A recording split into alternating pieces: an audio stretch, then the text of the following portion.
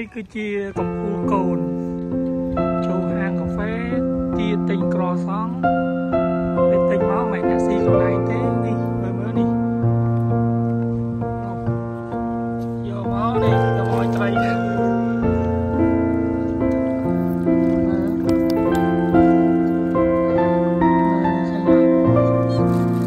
ចូលទិញកាហ្វេវាទេវាទាទិញក្រសង់ពេលយកក្រសង់មក